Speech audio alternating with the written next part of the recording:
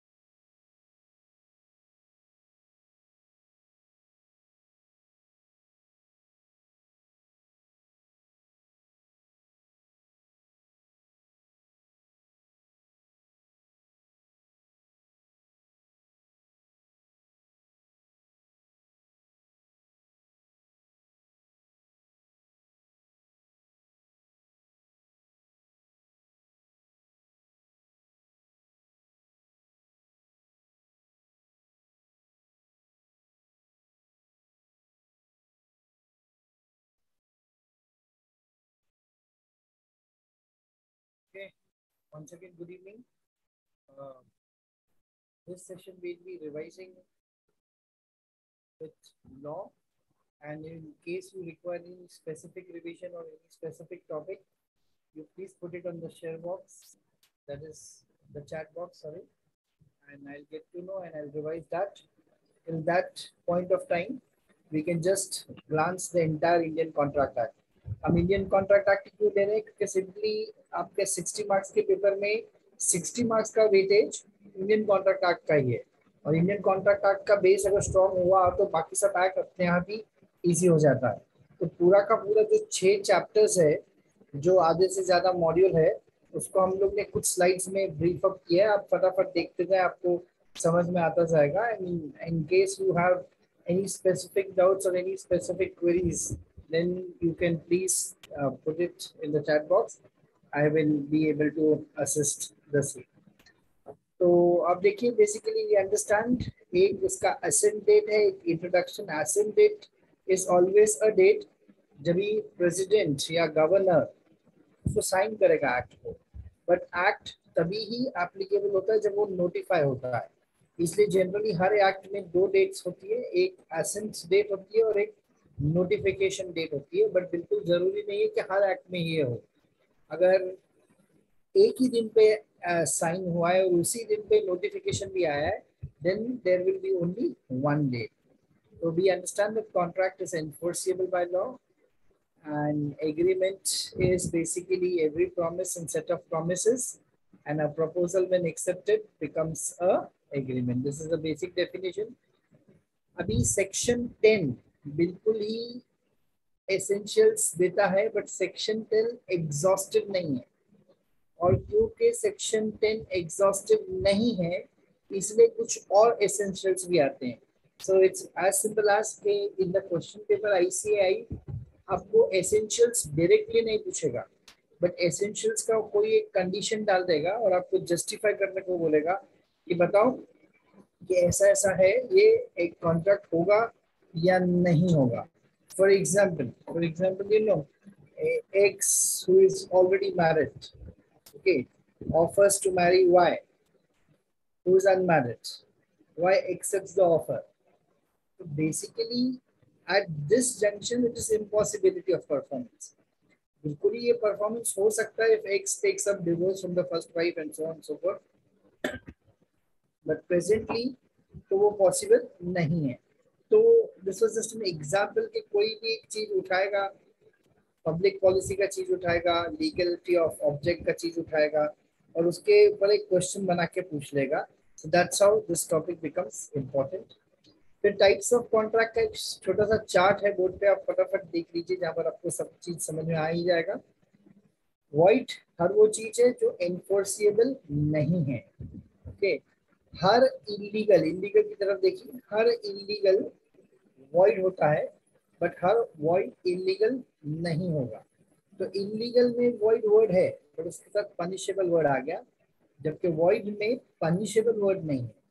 That's how I say every illegal is void but every void may not be illegal voidable अगर free concept नहीं हो इतना तो भी आपको मालूम ही होगा it is voidable valid when both the parties can enforce it unenforceable agreements are basically correct, but they have a technical mistake. Technical mistake such as K law expected this agreement to be in writing, but it was orally made, so it is unenforceable. So are unenforceable agreements void? I repeat my question. Are unenforceable agreements void? The answer is no they are in void. But the courts shall not enforce. And why the court shall not enforce? For the simple reason, they do not fulfill certain conditions which are required for some specific agreements like transfer of property. Express is by words, tacit is by conduct, quasi is basically uh, obligation arising by law. Generally, contracts, there is an obligation which comes by agreement but sometimes the obligations comes by law. if the obligation comes by law, it is quasi. ECOM is basically electronically made agreements, unilateral, one side performance, bilateral, both side performance, executed, which is already performed, and executory, where performance is still pending. So these are some important types of agreements. Then the chapter speaks about void and voidable. We understand illegality आप खास करके देखेंगे तो इसमें basically punishable by law है illegality void ab initio होता है also हम void ab initio लिखते नहीं है क्योंकि void ab initio basically minor के agreement में ही हम लिखते हैं धर्मदास घोष वाले केस में वो जजमेंट आया था but illegal basically ab initio शुरू से ही void है बट वॉइड ज़रूरी नहीं है शुरू से वॉइड होगा, क्योंकि बहुत सारे केसेस में कॉन्ट्रैक्ट वैलिड हो जाता है। और उसके बाद नॉन परफॉर्मेंस है वो वॉइड हो सकता है okay void need not be illegal illegal is always void as we have already discussed okay if the main contract is void the collateral also becomes void the collateral also becomes void sorry if the main agreement is illegal the collateral also becomes void क्योंकि अगर वो illegal है तो वो चाहे main है या चाहे वो सपोर्टिव है that will always become void but if it is void उसका कोलेट्रल बिल्कुल ही वैलिड हो जाता है. That's how it is going ahead the next part of the chapter was basically offer and acceptance offer is basically willingness और abstinence या तो आप करना चाहता है या नहीं करना चाहता है that's basically offer specific offer is made to a specific person. It is also called as a special offer. General offer is basically made to public at general. Cross offer is basically a board pe dekh rahe hain sab. Cross offer is basically when two people basically give same offer to each other in ignorance. Counter offer is जब आप original offer को ही modify करके देते हैं that's basically a counter offer and standing offer is basically the offer which is allowed to remain open for certain period of time so this is what you must know with reference to types of offer आपको कोई query आता जा रहा है तो आप बिल्कुल chat box पे डालते जाइए सो दैट हम साइमल्टेनियसली इसको सॉल्व करते जाएँगे. Look at the next answer the next answer is basically rules of offer. Screen change हो गया है आपका I suppose rules of offer so there are seven very important rules of offer basically it must be clear definite and vague and not vague So if the offer is vague, for example, you know, you are offering something, but that's not clear. That's called as vague. Definite means you are uncertain. ये करें या वो करें that's basically indefinite and clear means basically uh, for example you know when you say that i want to sell oil it's not clear which oil it's not definite कि आप कितना oil बेचना चाहता है and it's a very vague statement people may understand in different way it can be expressed or implied you understand that offer is there only if it is communicated so if it is in your heart आप कुछ बोलना चाहता है पर बोला नहीं in the eyes of the law वो offer नहीं है it cannot be accepted in ignorance. Lalman Shukla wale case में हुआ था he accepted the offer in ignorance, so that was not a contract. तो अगर आपको ऑफ़र मालूम है तो आपके लिए ऑफ़र है। अगर आपको ऑफ़र मालूम ही नहीं तो आप उसको एक्सेप्ट कैसे कर सकते हैं? अच्छा कंडीशनल ऑफ़र बिल्कुल वैलिड होता है, इसलिए बहुत सारे दुकानों पे कंडीशंस रहता है with reference to sale so conditional offer is always valid offer although conditional acceptance may not be valid offer में कभी भी ऐसा टर्म नहीं हो सकता कि आपने ऐसा नहीं किया तो वो एक्सेप्टेंस हो जाएगा। फॉर एग्ज़ाम्पल मैं आपको एक, एक बोलता हूँ भाई मैं अपनी कार बेचना चाहता हूँ आपको पाँच लाख में दो दिन में मुझे बता दीजिए अगर आपको नहीं चाहिए तो। बट अगर आप दो दिन में ऐसा नहीं बताए मुझे कि आपको नहीं चाहिए then in that case I assume कि आपको कार चाहिए। ऐसा नहीं हो सकता है। Offer is white and offer is different from invitation to offer right understand के ऑफ़र के साथ हमेशा एक्सेप्टेंस आ जाएगा तुरंत। बट इनविटेशन टू ऑफ़र में ऐसा नहीं होगा। इनविटेशन टू ऑफ़र में बेसिकली पहले आप इनवाइट करेंगे दूसरे पार्टी को ऑफ़र देने के लिए, दूसरा पार्टी ऑफ़र देगा और फिर उसके बाद एक्सेप्टेंस होगा। तो इनविटेशन टू ऑफ़र में तीन स्टेजेस है। इनवाइट जैसे दुकान वाला बाहर बोर्ड पे लिखता है, बाहर दुकान के बाहर एक एड डाल देता है फिफ्टी परसेंट ऑफ़ वो इनविटेशन टू ऑफ़र है कि भाई आप दुकान के अंदर आओ। फिर आप दुकान के अंदर जाके बोलते हैं अरे वाह 50% परसेंट ऑफ़ है। भाई, ये शर्ट कितने का होगा? 50% परसेंट ऑफ़ है तो। This is an offer given by you अब उसको एक्सेप्ट करना है कि नहीं, वो बेसिकली किसके हाथ में वो बेसिकली दुकान वाले के हाथ में and that's how it's basically invitation to offer which has three stages where is offer has only two stages that is offer and acceptance we go ahead to the next part of the chapter that is acceptance acceptance का rules is very clearly seen on the board. Acceptance cannot be conditional. Conditional acceptance is void. It cannot be conditional. Acceptance is there if it is communicated. You have to say yes. Otherwise, there is no acceptance. It cannot be presumed from silence. अगर कोई चुप है या आप चुप बैठे it does not mean that you have accepted the offer. It must be in a specific mode generally offer देते time आपको बोल दिया जाएगा कि किस तरीके से आपको एक्सेप्टेंस चाहिए। अगर कुछ नहीं बोला है तो आप अपने हिसाब से एक्सेप्टेंस भेज सकते हो। बट आपको डिफाइन किया है कि ऐसे ही एक्सेप्टेंस भेजो देन आपको वैसी मोड में एक्सेप्टेंस भेजना है। It should be within reasonable time आपको ऑफ़र आ दिया तो आप दो साल बाद एक्सेप्ट नहीं कर सकते। अच्छा यहाँ आपको समझ के लेना है कि ये जो वर्ड है रीजनेबल टाइम ये लॉ में किधर भी डिफाइंड नहीं है। इसलिए ये वर्ड आप इंटर में भी यूज़ करेगा, दूसरे लॉज में भी यूज़ करेगा बट ये डिफाइंड नहीं है। क्यों डिफाइंड नहीं है? For the simple reason it differs from case to case किसी चीज़ों में you know reasonable time can be few seconds for example in share market you want to buy a share there is an offer and fraction of second में price बदलता है। So acceptance can reasonable time can be few seconds gold में acceptance time can be a day उस दिन तक, वो एक दिन में तो प्राइस सेम रहता है। Okay, for buying a, a property, the acceptance may be a week or maybe two weeks. And therefore, law cannot define reasonable time. It is case based. And acceptance may be by conduct. Generally, जब implied contracts रहता है या tacit contract रहता है implied में आप बस में चढ़ गए tacit में आपने ATM कार्ड यूज़ किया इन दोनों ही केसेस में acceptance is by your conduct. So this is what you must know with reference to acceptance. We go ahead. Then it is consideration. अब बोर्ड पे देख सकते हैं consideration is basically when the promisee is basically performing something for promiser. उसके भी छह important rules हैं which you must know.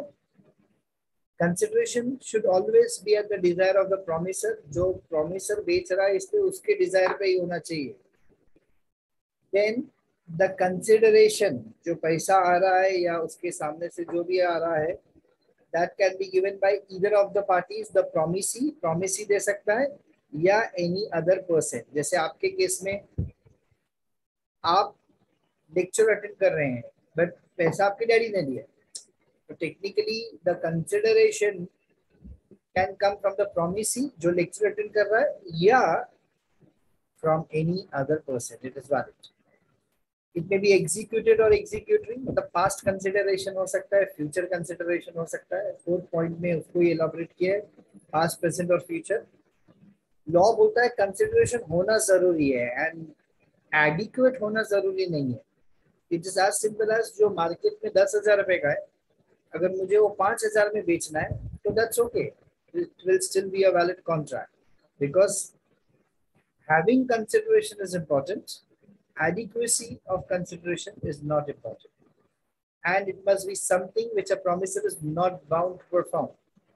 मतलब कंसिडरेशन वो नहीं हो सकता है, या उसके लिए नहीं हो सकता है, जो आपका ड्यूटी है। For example you know for example आपने कॉलेज में फ़ीस दिया है।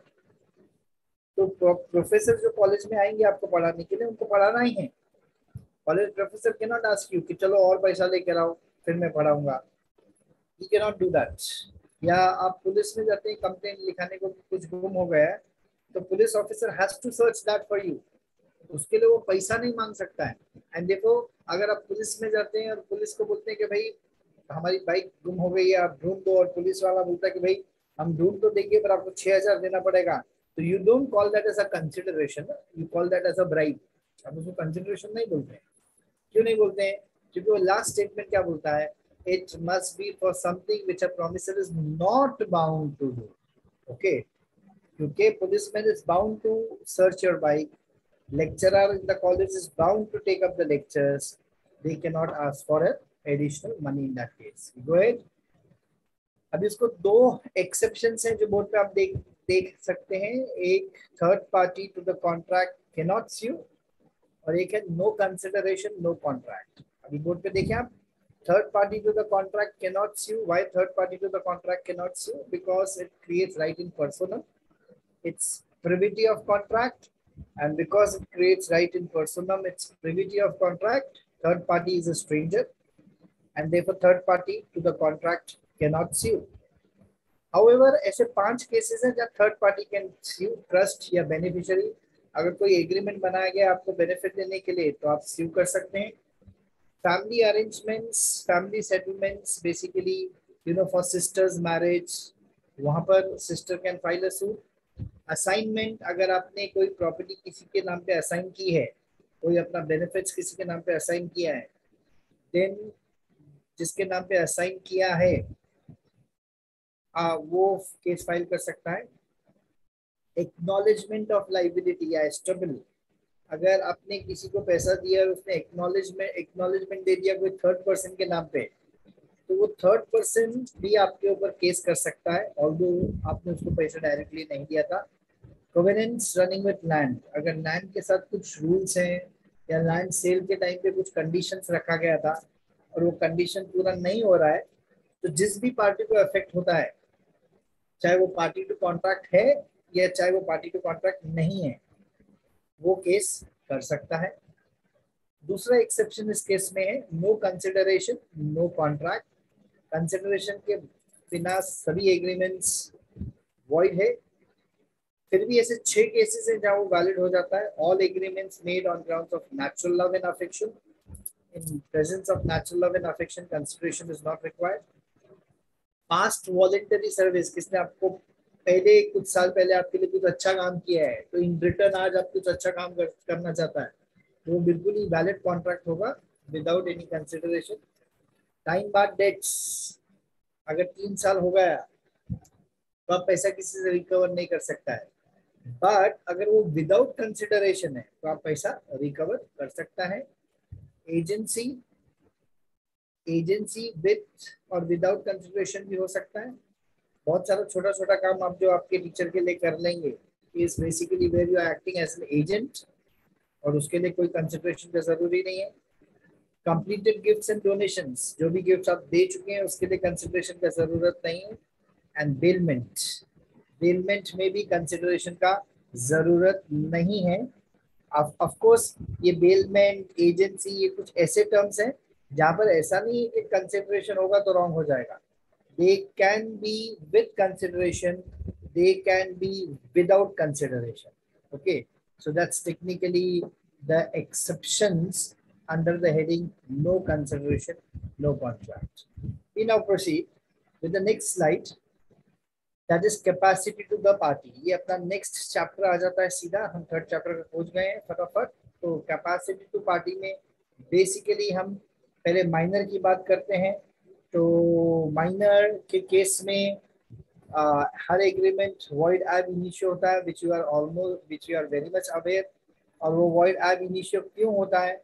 क्योंकि कोर्ट का डिसीज़न था कि माइनर्स के साथ किया गया हर agreement is absolutely void court ने ऐसा वॉइड फ्रॉम बिगिनिंग ऐसा कोई टर्म यूज़ नहीं किया। ऑल दो हम बोलते हैं it is void from beginning void from beginning तो उसका मतलब है। That's the that's the what I say reason that's the meaning of the term void ab initio but court ने ऐसा कोई टर्म यूज़ नहीं किया कोर्ट ने क्या टर्म यूज़ किया absolutely void and absolutely void term बना void ab initio so minor's agreement is void rather, instead of void, we call it as void ab initio of course minor beneficiary हो सकता है, कोई भी agreement में अगर उसका, उसको बेनिफिट्स मिलना है, जैसे माइनर को किसी को पैसा देना है तो वॉइड एविन्यूशन माइनर पैसा नहीं देगा. बट माइनर को किसी से पैसा लेना है तो that for the benefit of minor minor का सबसे अच्छा डिफेंस कोर्ट में है कि I am a minor so minor can always plead minority minors act can not be ratified मतलब माइनर जब बड़ा हो गया और तब आप उसके ऊपर केस करेंगे तो नहीं चलेगा। जो आज गलत है, वो हमेशा गलत ही रहेगा। Ratification is not permissible. Rule of restitution does not apply in case of minor. Minor को जो आपने पैसा दिया है या जो बेनिफिट्स मिल गया है, वो आप उसे वापस नहीं ले सकता है। रिस्टोर का लॉ उस पर काम नहीं करेगा। माइनर हमेशा एजेंट रहेगा, क्योंकि एजेंट को एक बेनिफिट है कि एजेंट के ऊपर कभी भी लाइबिलिटी नहीं आता है। अगर गार्डियन ने माइनर के बेनिफिट के लिए कोई कॉन्ट्रैक्ट किया है तो वो बिल्कुल ही वैलिड है। माइनर पर्सनली किसी भी चीज़ के लिए लाइबल नहीं है except in case of necessaries ध्यान दीजिए लॉ बुक में उसका टर्म नेसेसरीज है and not necessities liable is not liable for necessity liable only for necessaries liable taught में लाइबल माइनर टॉट में लाइबल हो जाएगा. Taught is basically the basic duty which the minor was supposed to perform. So minor उस case में बिल्कुल ही liable हो जाएगा. And minor cannot be a partner minor cannot be a partner in the in case of a partnership firm but he can definitely be the beneficiary of a partnership firm अगर उसको कुछ benefits मिल रहा है partnership firm में तो ही can be you know he can be admitted to the benefits of that partnership firm but technically he cannot be a partner minor can definitely be a shareholder but then let's again understand he cannot be a shareholder because he cannot buy okay and therefore he cannot be a shareholder but minor के पास अगर transmission से shares आ जाते हैं transmission से share आ जाते हैं मतलब पापा के पास शेयर्स थे पापा मर गए तो पापा के शेयर्स बिल्कुल ही बिल्कुल ही कहाँ से आ गए पापा से बेटे के पास आ गए तो basically then he becomes a shareholder उसमें एक कंडीशन होना चाहिए। शेयर्स फुली पेड अप होने चाहिए। एक मैसेज आया है मुझे मेंसा क्लासेस से। उसमें दो डाउट्स है, मैं एक बार वो क्लियर कर लूँ। Okay good evening everyone everyone जिस जिसने गुड इवनिंग बोला है, उसको भी, और जिसने नहीं बोला उसको भी। Shreya has a doubt by conduct का फिर से बताओ ना। By conduct acceptance by conduct क्या होता है? आप हाँ नहीं बोल रहे हैं। फॉर एग्ज़ाम्पल आप बस स्टॉप पे खड़े हैं बस आपके सामने आके खड़ा हो गया। दैट्स एन ऑफ़र और आप बस के अंदर चढ़ गए। तो आप बस के अंदर चढ़ते वक्त ऐसा आप चिल्लाए नहीं ये आई एक्सेप्ट ये आई एक्सेप्ट ऐसा कुछ नहीं हुआ। आप बस के अंदर चढ़ गए। That's acceptance by conduct tacit में भी दिखता है। टैसिट में जैसे आप अमेजोन के वेबसाइट पे चले गए और अमेजोन की वेबसाइट पे आ, वो पूछता है कि कंफर्म कंफर्म द पेमेंट्स क्या आपको पूछता है आपने गुड सिलेक्ट किया फिर आपको कंफर्मेशन के बारे में पूछता है। और जैसे आप क्लिक करते हैं कंफर्मेशन पे तो बेसिकली आप उसको बोलते नहीं उस टाइम पे। Okay it's by your conduct by using the mouse and by pressing the button it's by conduct so you enter into a contract. So that solves the query i suppose. Um dipti your question is sir please give, give example of fourth point. अभी I assume जो display में आ रहा है उसी का fourth point का आपको example चाहिए और और कोई पॉइंट का होगा तो आप स्पेसिफाई कीजिए। अभी फ़िलहाल में ये फोर्थ पॉइंट जो दिख रहा है बोर्ड पे उसका एग्ज़ाम्पल मैं आपको दे देता हूँ। तो यहाँ पर फोर्थ पॉइंट का example can not be ratified एक सिंपल एग्ज़ाम्पल है कि perhaps sixteen eighteen year boy perhaps and takes up a loan or or enters into any kind of agreement and creates a liability. अब जिसने उसको benefit दे दिया है या जिसने उसको पैसा दे दिया है या गुड्स दे दिया है, उसको मालूम पड़ जाता है कि माइनर है उसको ये भी मालूम पड़ता है कि माइनर के ऊपर केस नहीं हो सकता है माइनर जीत जाएगा। तो वो बंदा क्या करता है, जिसने उसको बेनिफिट्स दे दिया, वो रुकता है। कभी तक, जब तक माइनर अठारह साल का नहीं हो जाए। और जैसे ही माइनर अठारह साल का हो जाता है, उसके बाद वो उसके ऊपर केस करता है। तो द क्वेश्चन अराइजेस अभी तो वो माइनर नहीं है, अभी तो वो मेजर है। तो वो कोर्ट में माइनॉरिटी तो प्लीड नहीं कर सकता है। तो अभी क्वेश्चन अराइजेस कि क्या अभी उसको सजा होगा the answer is no and why no क्योंकि ratification is not permitted ratification का मतलब क्या होता है यहाँ पर कि भाई जो तब गलत था वो हमेशा गलत ही रहेगा और जो तब सही था वो हमेशा सही रहेगा and they ratification is not permitted. I suppose that solves your query also. We go ahead now.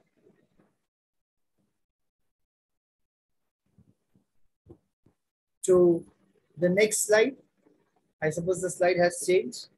Now we talk about unsound mind and basically the persons disqualified. Which all doubts are to aap likh ke. I'll get it get it back from the classes. Okay, they share it with me, so then I can help you with that.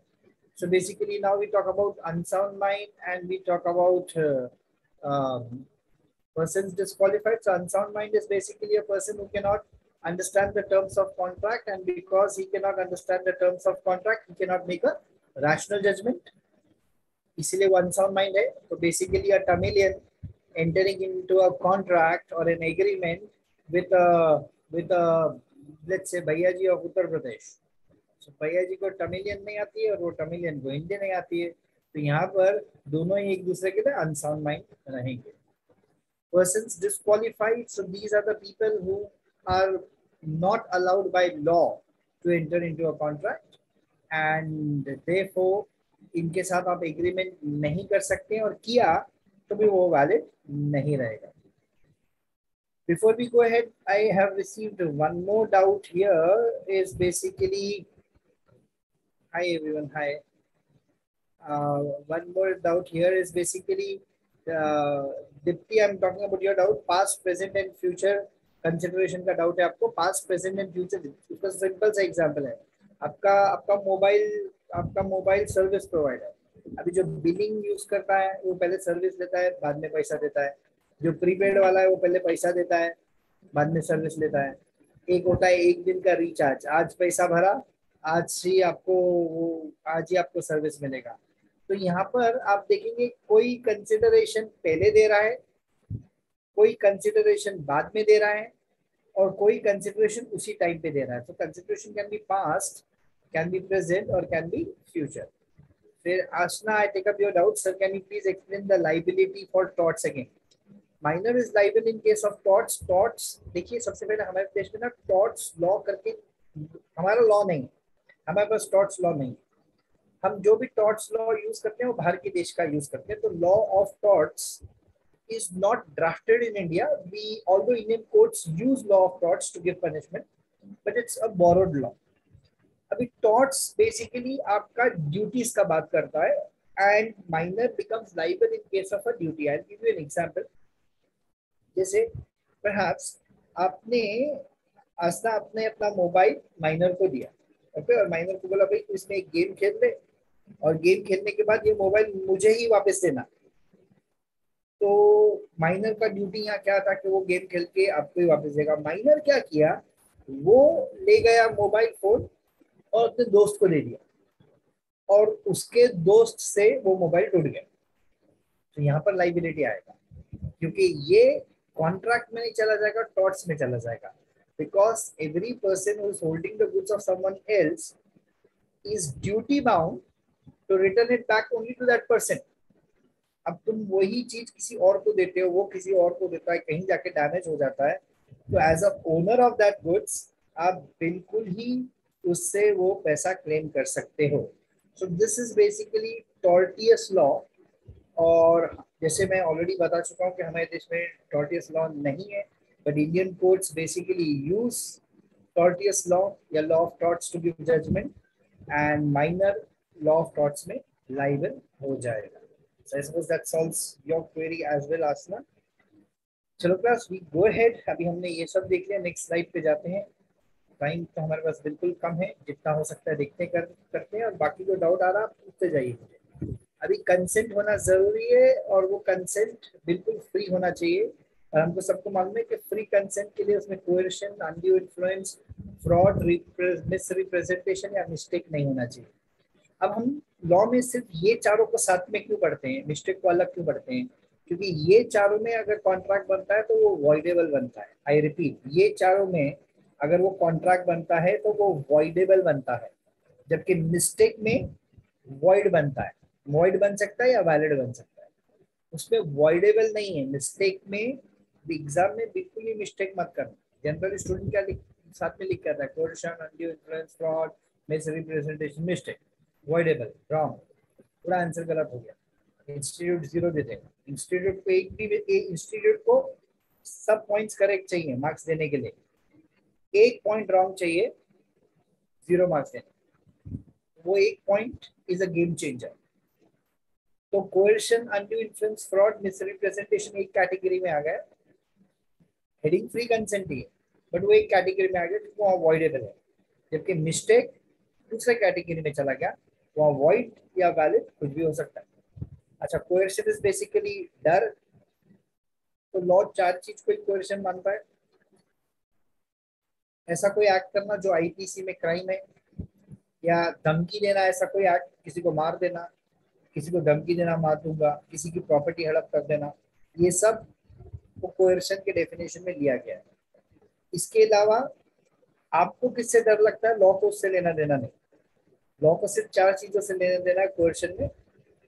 Threatening to commit an act not allowed by IPC committing an act not allowed by IPC, threatening to detain somebody's property और detaining somebody's property. Law सिर्फ़ ये चार चीज़ों को question के definition में include करता है। अनड्यू इन्फ्लुएंस होने के लिए बिल्कुल ज़रूरी है कि पार्टी के बीच में ट्रस्ट होना चाहिए। सबसे पहला पॉइंट ट्रस्ट नहीं होगा तो अनड्यू इन्फ्लुएंस नहीं हो सकता दूसरा, एक पार्टी ऊपर के पोजीशन पे होना चाहिए। तीसरा, जो पार्टी ऊपर के पोजीशन पे उसने अपना पोजीशन यूज़ करना चाहिए एक्स्ट्रा बेनिफिट लेने के लिए। अगर ये तीन कंडीशन पूरा होता है तो ही कोर्ट उसको अनड्यू इन्फ्लुएंस कंसिडर करेगा। फ्रॉड और मिस रिप्रेजेंटेशन में एक ही स्टेटमेंट का डिफरेंस है। अगर आप कुछ करते हैं विथ इंटेंशन दूसरे का नुकसान करने के लिए विथ इंटेंशन दूसरे का नुकसान करने के लिए तो वो हो गया फ्रॉड अगर आप कुछ करते हैं विदाउट इंटेंशन दूसरे का नुकसान करने के लिए बट नुकसान हो जाता है। आपका इंटेंशन नहीं था, उसका नुकसान करना। बट उसका नुकसान हो गया। Then it is misrepresentation okay आप देखिए silence does not amount to fraud but दो चीज़ है, जिसमें वो फ्रॉड होगा। Duty of a person to speak then it is a duty of a person to speak and he does not speak it is fraud and when silence is equal to speech okay मतलब जब हम बोलते हैं ना, भाई, तुम ऐसा नहीं बोला तो मैं समझ जाऊँगा। जैसे for example I go to buy a gold okay तो आई आज आई टेल द ज्वेलर कि, भाई, ये मुझे गोल्ड ही लग रहा है। और अगर ये गोल्ड नहीं है तो तुम अभी बता दो। और अगर तुम चुप रहे तो मैं मान लूँगा ये गोल्ड ही है। और सेलर चुप रहता है और मैं खरीद लेता हूँ। और बाद में मालूम पड़ता है वो गोल्ड नहीं है गोल्ड प्लेटेड ऑर्नामेंट्स है। I say this is a fraud because in this case the silence was equivalent to speech अच्छा ये चारों चीज़ों का कॉन्सिक्वेंसेस क्या है? कॉन्ट्रैक्ट वॉइडेबल है। अगर पार्टी, जैसे कि जो प्लेंटिव है, जिसका नुकसान हुआ है, उसको समझ में आ जाता है कि सामने वाला उसके साथ धोखा कर रहा है या अनड्यू इन्फ्लुएंस कर रहा है और फिर भी वो अलाउ करता है तो कॉन्ट्रैक्ट वैलिड हो जाएगा। क्योंकि आपके पास चांस था कि आप निकल सकता था बट आपको अगर मालूम ही नहीं पड़ा then only it is voidable but आपको, आपके पास बिल्कुल तरीका था पता करने के लिए जैसे आप गोल्ड की शॉप पे गया आप एक इंस्ट्रूमेंट लेके गया, वो इंस्ट्रूमेंट में गोल्ड ऑर्नामेंट डाल के तुरंत पता चलता है कि वो गोल्ड है कि नहीं। तो आपके पास तो वो इंस्ट्रूमेंट था तो आप पता लगा सकता था गोल्ड था कि नहीं। अब आपने पता नहीं लगाया तो बेसिकली कॉन्ट्रैक्ट उसको वैलिड लॉ उसको वैलिड होता है और लास्ट पॉइंट बोलता है कि समझो वो फ्रॉड से या मिसरिप्रेजेंटेशन से या अनड्यू इन्फ्लुएंस से वो चीज़ आपके पास आ गई। बट आपके फ़ायदे की है। तो आप उसको वैलिड कंसिडर करो सिंपल फिर तो आपको कोर्ट जाने का ज़रूरत नहीं these are the consequences mistake देखिए मिस्टेक ऑफ़ फैक्ट होता है मिस्टेक ऑफ़ लॉ होता है। मिस्टेक ऑफ़ फैक्ट बायलैटरल और यूनिलैटरल होता है। मिस्टेक ऑफ़ फैक्ट बायलैटरल पाँच टाइप का होता है। क्वांटिटी क्वालिटी आइडेंटिटी एग्जिस्टेंस और टाइटल इन सभी केस में वॉइड है। बोर्ड पे ध्यान से देखिए, यहाँ पर प्राइस नहीं दिया है। हमारा law mistake of fact of price को वैलिड मानता है वॉइड नहीं मानता है। सिर्फ़ पाँच चीज़ का मिस्टेक को वॉइड है क्वांटिटी क्वालिटी आइडेंटिटी एग्जिस्टेंस और टाइप अब प्राइस का अगर मैं एग्जांपल दे दूँ कि कोई चीज़ कोई चीज़ का मार्केट प्राइस है पचास रुपए बट सेलर को मालूम ही नहीं था। तो सेलर आपको बोला तीस रुपया, क्योंकि उसको मालूम ही नहीं था पचास रुपए का। आपको भी मालूम नहीं था पचास रुपए तो आपने भी तीस दिया, उसने भी तीस बोला तो बायलैटरल मिस्टेक है। Seller is at mistake buyer is at mistake but the contract is valid. हम क्या बोलते हैं बायलैटरल मिस्टेक में? Bilateral mistake is void but यहाँ कॉन्ट्रैक्ट इज़ वैलिड क्यों वन में? क्योंकि मिस्टेक वाज ऑफ़ प्राइस और वो जो पाँच अक्षर आपको बोर्ड पे दिख रहे हैं, वहाँ पर प्राइस नहीं दिया quantity, quality, identity, existence, and title. Unilateral mistake is a mistake of one person. That's valid. Indian law is valid. Ignoratia juris non executa.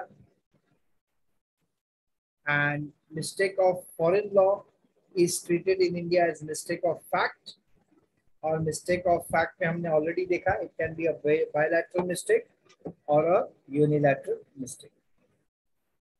चलिए लॉफुल ऑब्जेक्ट्स एंड कंसिडरेशन ये सभी चीज़ों को अनलॉफुल ऑब्जेक्ट या unlawful consideration के categories में डाला गया है। इसलिए ये सभी चीज़, ये सभी केसेस में जो लिस्ट आप देख रहे हैं बोर्ड पे, ये सभी केसेस में एग्रीमेंट्स रादर वॉइड ही हो जाता है। तो कॉन्ट्रैक्ट बनने का सवाल ही नहीं है इसलिए कॉन्ट्रैक्ट कभी बनेगा ही इसलिए ऑब्जेक्ट भी लॉफुल होना चाहिए और कंसिडरेशन भी लॉफुल होना चाहिए। मैं लिस्ट पढ़ देता हूँ फटाफट आपके रेफरेंस के लिए। अगर आप ऐसा कुछ करते हैं which is forbidden by law अगर आप कोई लॉ के प्रोविजंस को डिफेक्ट करते हैं, अगर आप कोई रूल को डिफेक्ट करते हैं, अगर आप कुछ फ्रॉडिलेंट एक्ट करते हैं, या किसी को इंजरी देते हैं, या जो इमोरल है, ये सब अनलॉफुल कैटेगरी में जाएगा। और सेवन पॉइंट तो बहुत बड़ा पॉइंट है, अगर आप कुछ ऐसा करते हैं जो अगेंस्ट पब्लिक पॉलिसी है अगेंस्ट पब्लिक इंटरेस्ट है। जिसमें ग्यारह पॉइंट है trading with enemy stifling prosecution इसमें से कोई भी पॉइंट में डाउट है या किसी का एग्ज़ाम्पल आपको चाहिए तो आप प्लीज़ टाइप करें तो मैं दे दूँगा। नहीं तो हम आगे चलेंगे फटाफट। Stifling prosecution maintenance champerty interference with course of justice traffic relating to public offices or sales of public offices, interest against obligation, marriage brokerage contract. फटाफट रीड करें। आप लोग सब साथ में मेरे agreement in restraint of marriage agreement creating monopoly agreement in restraint of trade agreement in restraint of legal proceedings अभी ये कुछ लास्ट के जो हैं रिस्ट्रेंट वाले इनको एक्सेप्शंस भी है। जैसे agreement in restraint of marriage is void but becomes valid in case of minor agreement for creation of monopoly इसको कोई एक्सेप्शन नहीं in restraint of trade is void but इसको पाँच एक्सेप्शन है जहाँ ये वैलिड हो जाएगा। लीगल प्रोसीडिंग्स को दो एक्सेप्शन है, जहाँ पर वो वैलिड हो जाएगा। सो ये पूरी की पूरी लिस्ट है, जहाँ पर या तो ऑब्जेक्ट अनलॉफुल है, या कंसिडरेशन अनलॉफुल है, या तो दोनों ही ऑब्जेक्ट एंड कंसिडरेशन अनलॉफुल है। इसलिए not enforceable by code of law चलिए agreements which are expressly declared void okay so agreements which are unlawful in part अगर एक हिस्सा उसका अनलॉफुल है एग्रीमेंट का तो वो वॉइड ही रहेगा। प्रोवाइडेड अगर आप वॉइड इलीगल पार्ट को लीगल पार्ट से अलग कर सकते हैं तो लीगल पार्ट फिर भी वैलिड हो जाएगा। लीगल पार्ट फिर भी वैलिड हो जाएगा। बट अगर वो सेपरेबल नहीं है तो पूरा का पूरा एग्रीमेंट वॉइड है। Agreements the meaning of which is uncertain जिसका मतलब सर्टेन नहीं है they are also void and wager wager are basically like you know like betting betting we are very as Indians we are very much aware about betting betting हम लोग करते ही रहते क्या बोलता है? आज लेक्चर होगा कि नहीं? चल लग गई एक बड़ा technically these agreements are wager. And wager are void. आप बोर्ड से देखिए, तब तक एक डाउट आया है, रौनक आपका डाउट आया है, रौनक आपका डाउट है चैम्पर्टी क्या होता है sir champerty is something where you take up an interest in court's judgment.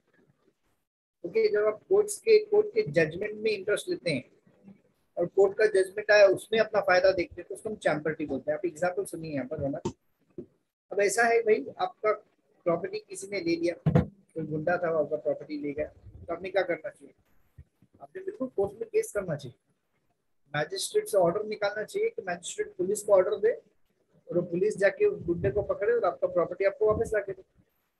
But court में केस करने के लिए आपको वकील का ज़रूरत पड़ेगा। तो भाई वकील जब आपका केस लड़ेगा, रौनक तो उसने आपसे फ़ीस देना चाहिए। बट वकील साहब क्या बोलते हैं कि भाई फ़ीस वीस तो ठीक है, वो तो तुमको देना ही है भाई। बट जो भी कोर्ट में जजमेंट आएगा, उसका आधा हिस्सा मेरा।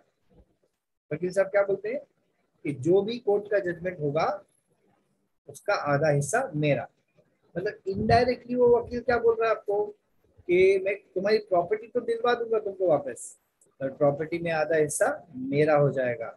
दिस इज़ चैम्पर्टी ये चैम्पर्टी के कैटेगरी में आ जाता है। And champerty is void so this is your solution बोला go ahead we have less Performance of contract is next answer. Who can perform? Promisor, his agent, his legal representative, third party, as well as joint promisor. All of them can perform. Succession, जो आपको property आपके inheritance से मिलता है वो होता है succession जो पिताजी से आपको मिले असाइनमेंट आपके दोस्त ने आप अपनी अपनी जायदाद आपके नाम पे कर दी साइन करके दैट इज़ एन असाइनमेंट तो जो एग्रीमेंट से आपके पास आएगा दैट इज़ बेसिकली असाइनमेंट जो लॉ से आपके पास आएगा दैट इज़ सक्सेशन इसको देखिए सेकंड पॉइंट बिल्कुल ऐसा ही बोलता है। It's basically operation of law and this is by agreement succession में आप एसेट्स एंड लाइबिलिटीज दोनों ही आपके पास आएगा। आप ऐसा नहीं बोल सकते कि पिताजी का खाली एसेट्स मेरे पास आए लाइबिलिटीज दूसरे के पास चला जाएगा। ऐसा थोड़ी। पिताजी आपके तो एसेट्स भी आपका और लाइबिलिटीज भी आपका। जबकि असाइनमेंट में अगर आपका दोस्त उसका फ्लैट आपके नाम पे करना चाहता है तो आप कितना खुश? आप बोलेगा, यार you are my true friend तो एसेट्स तो ले लिया आपने। बट एक मिनट के लिए सोचा अगर आपका दोस्त आपको बोलता है कि, भाई, तू, मैंने फ्लैट लिया बट उसका ई एम आई तू भर। मैं असाइनमेंट करता हूँ ई एम आई तेरे नाम पे। ई एम आई तू भर। तो क्या करेगा? दोस्ती तोड़ देगा। तो बेसिकली लाइबिलिटीज जनरली असाइन नहीं होती। क्योंकि बेसिक लॉजिक क्या बोलता है कि कोई भी दूसरे का लाइबिलिटी क्यों एक्सेप्ट करेगा? तो जब कोई भी दूसरे का लाइबिलिटी एक्सेप्ट नहीं करेगा तो असाइनमेंट में लाइबिलिटी जनरली आता ही नहीं। तो असाइनमेंट में जनरली क्या आता है? असाइनमेंट में जनरली एसेट्स ही आता है बट नेवर जैसा स्टेटमेंट आपको बोर्ड पे दिख रहा है, अगर दोनों पार्टीज़ को चलेगा तो ठीक है लॉ को कोई प्रॉब्लम ही नहीं है लॉ को भी चलेगा। चलते हैं आगे। फिर कुछ रूल्स ऑफ़ परफॉर्मेंस है। बोर्ड पे देखिए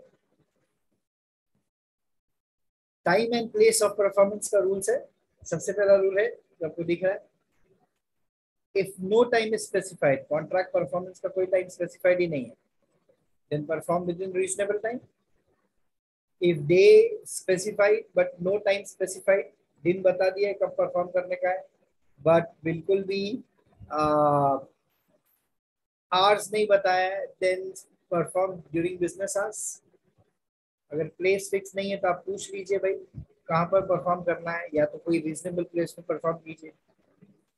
अगर कोई पर्टिकुलर डे पे बोला है कि भाई तुम इस दिन पे परफॉर्म करो बट परफॉर्म करने से पहले मुझे फ़ोन करके आना। जैसे विजय सेल्स को बोले, आप कि भाई तुम वेनेसडे को मेरे घर पे टीवी ले आओ, दोपहर में ले आना तुम बट सुनो, लाने से पहले एक बार फ़ोन करके कंफर्म कर लेना। तो performances where you know Vijay Sales is supposed to perform on Wednesday in the afternoon, but before performance, he has to check with you, कि वो आए या नहीं है effect of refusal to accept the performance okay अभी promisor perform करने को आया। विजय सेल्स वाला बिल्कुल आपके घर पे टेलीविज़न लेके आया। विदाउट एनी कंडीशन वो ऐसा बोला नहीं कि, मैडम, पानी पिलाओ, खर्ची दो टिप दो ऐसा कुछ नहीं बोला। बोला, मैडम, आपका टीवी लाया। बरोबर टाइम पे आया, दोपहर के टाइम पे आया, बरोबर आपके घर पे आया, बरोबर प्लेस आपको बोला, मैडम, आप चेक करके टीवी एक्सेप्ट कर लो हमसे। फिर भी आप एक्सेप्ट नहीं कर पाए। वो बेचारा आपके घर पे आया, वो टीवी डिलीवर कर रहा है, आपसे कुछ पैसा भी मांग नहीं रहा है। और बिल्कुल टाइम पे भी आया है, बिल्कुल लेट नहीं आया है। फिर भी आप एक्सेप्ट नहीं कर रहा है। आप प्रॉमिस ही है और प्रोमिसर को परफॉर्म नहीं करने दे रहे तो तो लॉ सिंपल बोलता है promisor is not live and promise lose the right this concept in law is called as attempted performance देखो, एक तो अगर वो डायरेक्ट आके आपको टीवी दे दिया और आपने एक्सेप्ट कर लिया। That is actual performance actually performance हुआ। बट वो टीवी देने को आया और आपको दे भी रहा था बट आपने लिया नहीं।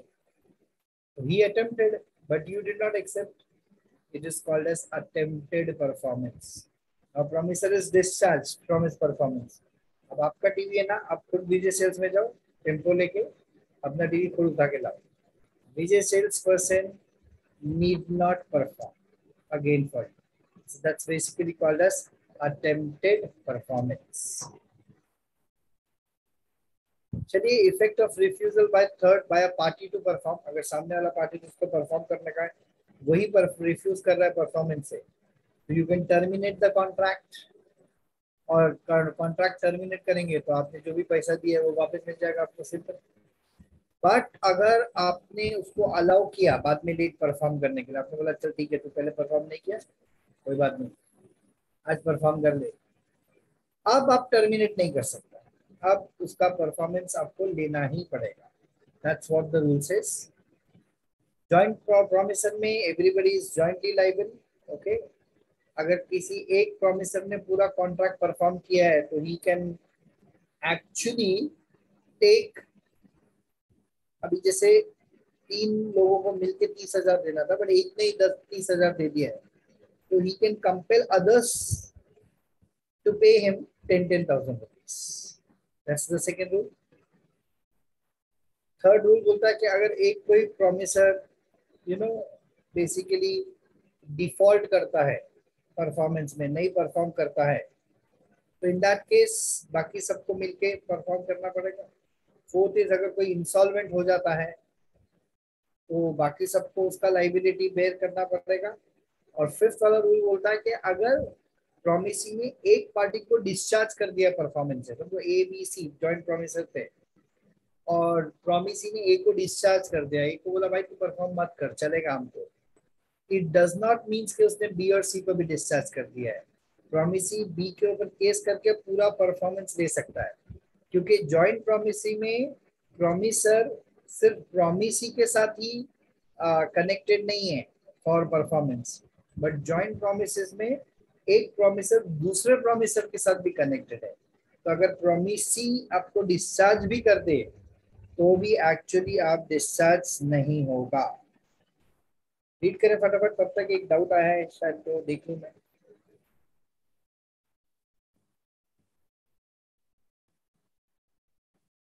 रोनक ने क्वेश्चन पूछा है, सर, अगर विजय सेल से टीवी गुम गया आफ्टर अटेम्प्टेड परफॉर्मेंस तो लाइबिलिटी किसका?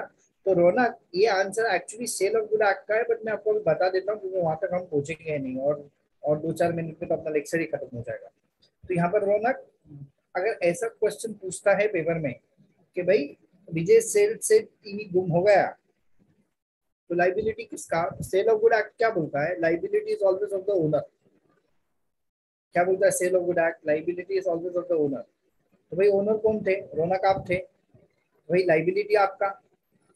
इतना लिखने के बाद आपको नीचे लिखने का however there are exception to this और उसमें थर्ड एक्सेप्शन जो है, वो है कस्टमरी प्रैक्टिस तो हमारे देश में कस्टमरी प्रैक्टिस कैसा है? कि जब हम गुड्स खरीदते हैं तो ओनरशिप हमारे पास पहले आता है बट लाइबिलिटी नहीं आता है. Generally risk follows ownership sale of good act ऐसा बोलता है. बट एक्सेप्शन में क्या होता है? ओनरशिप अपने पास पहले आता है. बट उसके तुरंत बाद रिस्क नहीं आता। ओनरशिप के बाद आता है पोजेशन भाई टीवी तुम हमारे घर पे लाओ पहले। पहले हम विजय में गए, पैसा दिए बिल बनाए ओनरशिप मालिक बन गए। फिर उसके बाद टीवी हमारे घर पे आएगा। ठीक है, हम परफॉर्म तुमको नहीं करने दिए तो हम आके लेके जाएँगे बट हमको टीवी दो। पोजिशन पहले आएगा। और पोजिशन के बाद रिस्क आएगा। इसलिए एक्सेप्शन के हिसाब से विजय सेल्स इज़ लाइबल अगर टीवी गुम हो गया तो बट जनरल रूल के हिसाब से रौनक by virtue of general rule, Ronald, the owner is liable. That is, you are liable because sale of good act बहुत ही clear clear भाषा में बोलता है that owner is liable for his goods. Simple आपका TV है आपने आपने लेके आना चाहिए था I suppose that solves your query. इसका आंसर आपको इंडियन कॉन्ट्रैक्ट एक्ट में नहीं मिलेगा बिल्कुल इसका आंसर आपको सेल ऑफ़ गुड एक्ट में मिलेगा।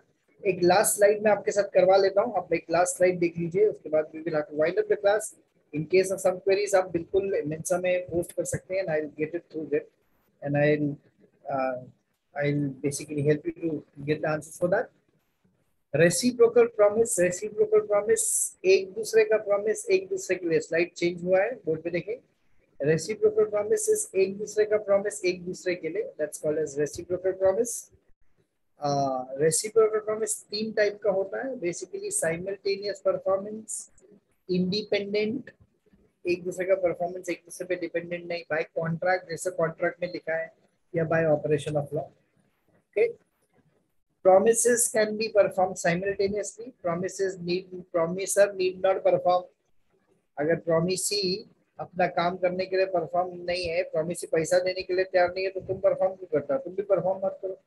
ओके अगर ऑर्डर ऑफ़ परफॉर्मेंस फिक्स्ड है बाय लॉ तो वैसे ही परफॉर्म करना पड़ेगा। जैसे जितनी बार भी तुम रेलवे में जाएगा, तुमको ही टिकट पहले खरीदने का फिर ही रेलवे सर्विस देगा।